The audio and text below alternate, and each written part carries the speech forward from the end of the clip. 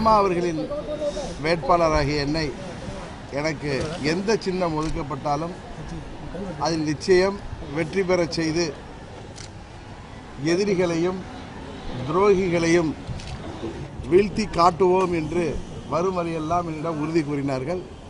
நிச்சயம் இந்த தேர்தலிலே நாங்கள் வெற்றி பெற்று இன்றைக்கு தமிழகத்திலே நடைபெற்று கொண்டிருக்கின்ற மக்கள் விரோத துரோக ஆட்சியை வீட்டுக்கு அனுப்புவதற்கு முன்னோட்டமாக ஆர்கே நகர் தொகுதி தேர்தல் இருக்கும் என்பதை இந்த நேரத்தில் கூறிக்கொள்கின்றேன்.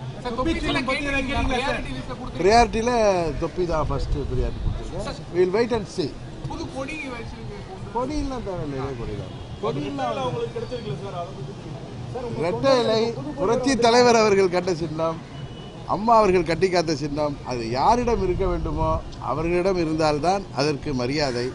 தொண்டர்களிடம் இருந்தால்தான் அதற்கு மரியாதை. துரோகிகளிடம் இருப்பவர்கள் வடக்கு நோக்கி கைகூப்பி இன்றைக்கு கைகட்டி சேவம் செய்பவர்களிடம் அடிமைகளாக இருப்பவர்களிடம் நிச்சயம் இரட்டை இலை சின்னம் இருக்காது.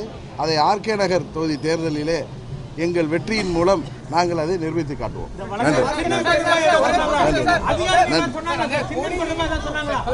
கருப்பு வெள்ளை அந்த சின்னத்தோட இது அண்ணா போட புகைப்படம் எல்லாம் புதிய கொடின்றது மாதிரி இப்ப எங்களால விஷுவல் பார்க்க முடியாது அது இல்லை இல்லை இல்லை அண்ணா திமுக கூட எப்பயும் நாங்கள் இப்படி தானே போடுவோம் அந்த கொடி இந்த மாதிரி வாக்குறுதி வந்து நான் ஏற்கனவே மார்ச் மாதத்திலே என்னென்ன வாக்குறுதிகளை நமது தொகுதி மக்களுக்கு செய்து தருவோம் என்று கூறினேனோ அவற்றையெல்லாம் செய்து தருவதற்காகவே என்னை அவர்கள் வெற்றி பெறச் செய்வார்கள்.